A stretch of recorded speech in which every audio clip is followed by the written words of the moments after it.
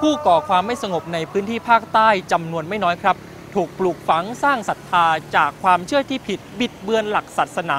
จนกลายเป็นจุดอ่อนทำให้เขาตัดสินใจเข้าร่วมขบวนการ หรือลงมือกระทำความผิดครับยีฮาดหลักศาสนาของผู้มีใจศรัทธาแรงกล้า แต่กลับถูกนำมาบิดเบือนทำให้ผู้มีใจศรัทธาเหล่านั้นหลงผิด ลงมือทำสิ่งที่ไม่ถูกต้อง ในอิสลามมีการยิฮัดจริงอ่ามีการยิฮัดจริง แต่มันมีวิธีการของมันใช่ไหมมันมีเหตุผลสมเหตุสมผล ไม่ใช่ว่าเราจะไปฆ่าคนไทยพูดอะไรอย่างนี้ได้ เราในแง่คิดของเราคือเราเคร่งเรื่องเคร่งในศาสนาทำยังไงให้เราดีที่สุดนี่คือทำตัวเราก่อนอ่าทำให้ดี แต่ว่าชีฮัดที่คนอื่นมองคือการปกป้องศาสนาเห็นก็กลัวพูดเลยครับ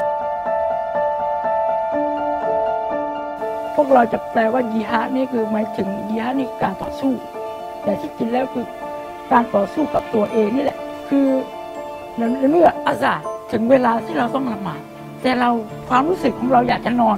นั่นแหละที่เราต้องยีฮัดคือลุกขึ้น ลุกขึ้นสู้สู้ความกับความรู้สึกของเราอะ คือเราต้องไปละหมาดคือความต้องการของของตัวเองถ้าไม่ตรงกับของศาสนา คือเราอยากทำนี่คือยีฮัดที่เรา ฝึกมาให้จับอาวุธขึ้นมาเพื่อต่อสู้ คือแนวทางตรงนี้ก็เขาอาจจะไม่ถึงตรงความรู้สึกที่กดดันแล้วสภาพสิ่งแวดล้อมต่างๆคือความรู้สึกตรงนี้มากกว่าที่เขาที่เขาพลาทางโครงการพาคนกลับบ้าน และการบังคับใช้มาตรา 21 ทราบดีว่า ผู้หลงผิดเหล่านั้นได้ทำการต่างๆ ไปอย่างรู้เท่าไม่ถึงการ เขาเหล่านั้นจึงต้องการโอกาส และต้องการความเข้าใจที่ถูกต้องตามหลักศาสนาอิสลามที่จริงแล้วศาสนาคือสอนสอนทุกคนเนี่ยคือให้สันติภาพกัน คือให้มีความสุขกัน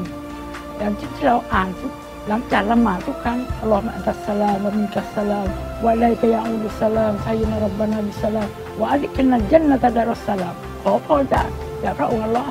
ขอให้อยู่แบบมีความสุขแล้วก็ ช่วยเหลือซึ่งกันและกัน